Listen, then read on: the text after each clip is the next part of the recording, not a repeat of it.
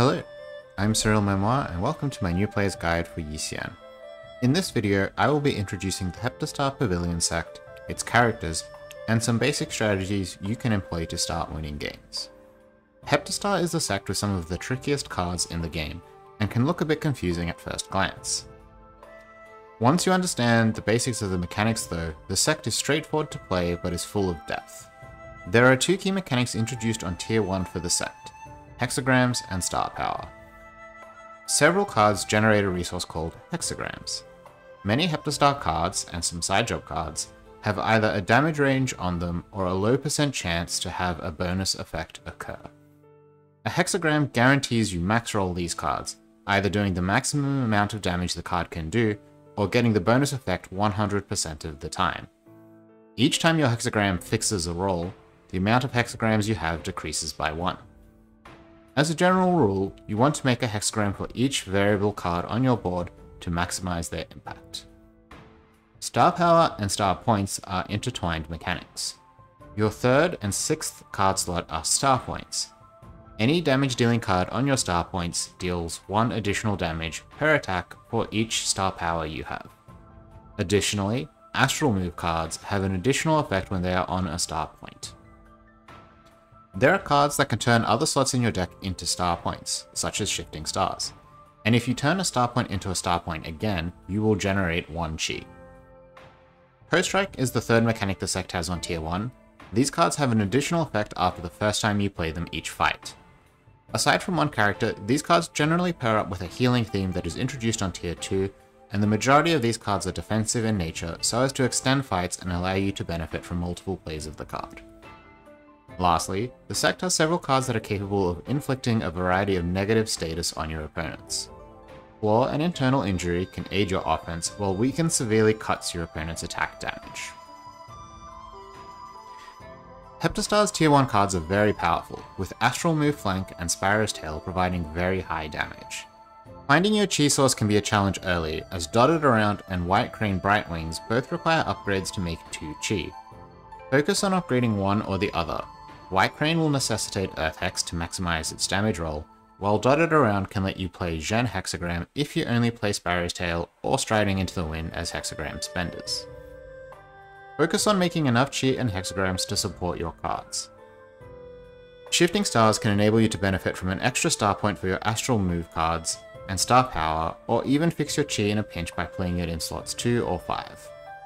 It is worth noting that the amount of hexagrams generated by a fully upgraded Earth hexagram is the same or better than other hexagrams up until tier 4, and you can easily play a max Earth hexagram for the entire game.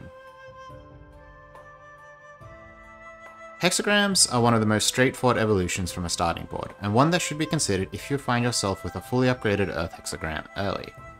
Hexagram Formicide is a continuous card on tier 4 that turns your hexagrams directly into damage.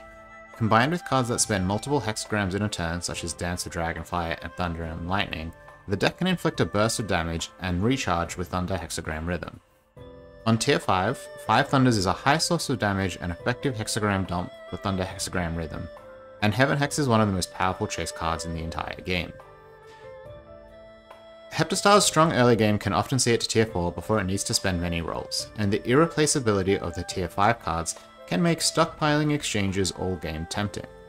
But if your destiny is under threat, find your cards on tier 4 and focus on incremental upgrades from there. The best hexagram boards can defeat opponents in as few as 3 turns, but 4 to 5 is most common. Star Power is the other end board that evolves most naturally from the early game boards. In this case, having early star power from a card like Dotted Around and extra star points from Shifting Stars provides a natural pathway into this setup. Starry Moon and Astral Move Hit on tier 3 are cards that will often see play all the way through to the endgame. On tier 4, the chase card Astral Move Flyer opens up the high burst potential of the board, while Astral Move Tiger is one of the best defensive tools in the game, dealing high damage while severely limiting your opponent's output when backed up by star power.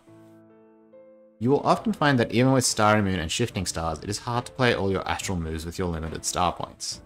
The tier 5 card Polaris solves that problem, providing you with a chunk of star power and converting your entire board into star points. A star power board without Polaris has a very hard time keeping up with other endgame boards, so try to conserve some rolls for tier 5 if possible.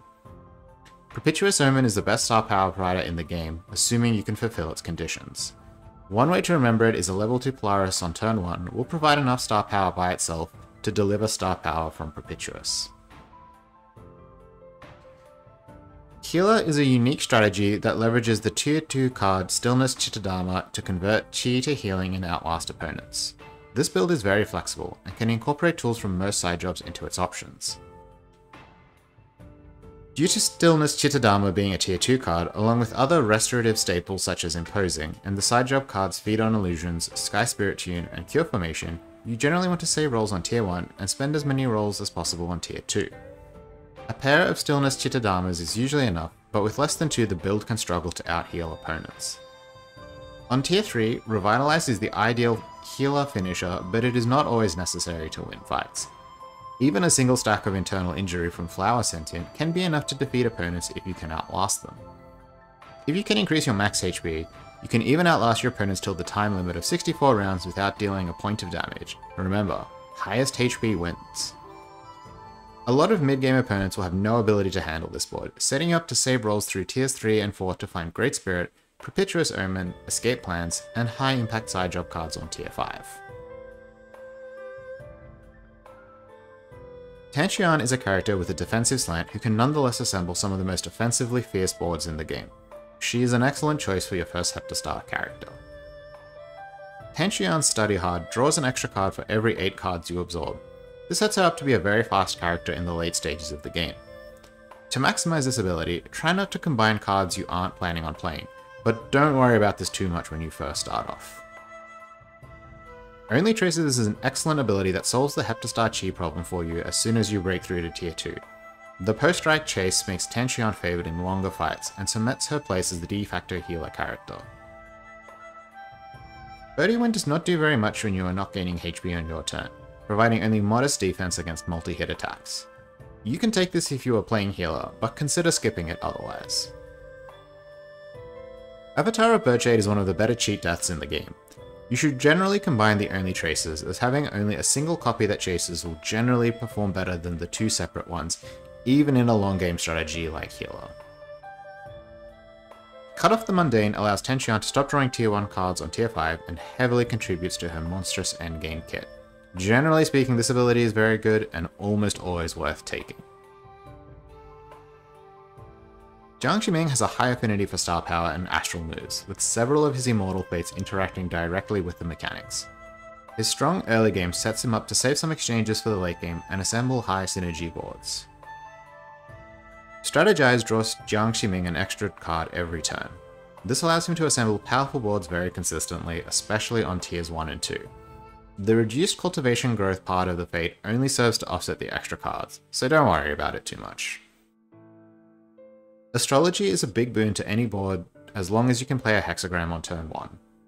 This is usually hard to activate in the late game, so if you are interested in this effect, the generic Fate Stargazing, which always provides 1 star power, will usually be better if it's offered to you.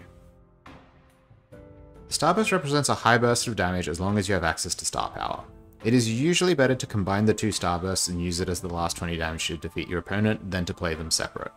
This drops off very quickly in the mid to late game, so don't hold on to it forever. Heptastar Solstat is the cornerstone of a thousand memes. There is an Exodia board built around using this ability to lock opponents down for as long as possible, but outside of that and a thousand shades of dubious permastun boards, this ability is only okay. Chasing into it is the simplest way to get good mileage out of this ability if you do take it. Don't try too hard to make it broken, it's usually not going to be worth it. Astral Divination Hexagram is a peculiar immortal fate.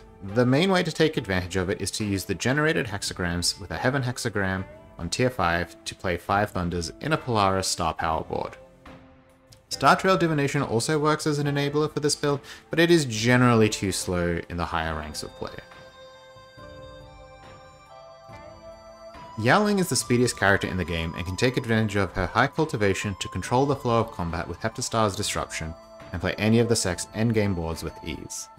Innate Spirit Body draws a card every breakthrough, giving Yaoling a total of 4 extra cultivation by the end of the game. The HP reduction makes Yaoling a little bit frailer than most of the cast, but it is of minor consequence. Crimson Yarnguard is a decent destiny saving ability and can help compensate for Yaoling's slightly weak mid-game. I want to mention that the tier 2 Immortal Fate Divination, which provides one hexagram at the start of the fight, is extremely good for Yarling if it is offered to you, and I would usually take that in this spot. Flame Flutter is the reason why Divination is so good for her. Flame Flutter is almost always worth taking and is a great mid-game tool. Usually you will want to play this on turn 2 after a hexagram, but with a Divination, you can lead on this to maximize the internal injury damage. Rotary Divination Hexagram is condemned by only providing 3 hexagrams. This can be a serviceable pickup if you're desperate for hexagram, but it is generally worse than the tier 4 card Flame Hexagram, which can at least be upgraded. I almost never take this fate, and it is rarely worth it. Lantern Spirit Awakening immediately draws a card, then draws an extra card every turn, providing one more cultivation every turn over your opponents. After a few turns, this will eclipse most opponents on speed, and by the end game, no one will be able to compete with you. You should always take this when you first start out. Yanchen is the biggest bully of the sect and directly benefits from defeating opponents. Yanchen feels unstoppable when he wins, but can struggle to catch up if his early game falters. He is uniquely positioned to play an internal injury board, but can play conventional strategies just as easily. Bloodline power is the cornerstone of Yanchen's games. Winning early fights is important with Yanchen, as drawing extra cards allows you to snowball your advantage into extra power to continue winning fights, and so on and so on. Flames of Life is simply an auto pick. The initial cultivation lets you outspeed your opponents on tier 2, and the extra destiny damage powers up bloodline potential, allowing you to start snowballing in power earlier and faster. Ultimate Hexagram Base is a reliable source of hexagrams that does an excellent job until the late stages of the game. One hexagram per turn is perfect to power all early game Heptastar cards. Be mindful that from tier 4 you may need more than one hexagram per turn, at which point you may need to augment or replace this. Within Reach is a build in a card, and makes Yanchen the one character in the sect with a reliable internal injury build. The Musician side job card Heartbroken Tune, along with this card, are capable of dealing enough damage to win fights almost unassisted, but the slate of internal injury cards in the sect also pair well with this. Fury Thunder's main purpose is to chase into a 5 hexagram 5 Thunders. Backed by a little bit of star power from a card like Starry Moon, this can deal enough damage to defeat enemies without the rest of hexagram support, or can slot into a classic hexagram build for extra damage. Take this if you're playing hexagrams, but otherwise you can skip it. Wuzi is the newest member of the Heptastar roster, and her unique fates give her access to some of the best star power boards in the game, while also being able to access extremely powerful post-action boards unique to her. She can make endgame boards out of cards found almost entirely on tier 3, which is a great place to spend a lot of exchanges.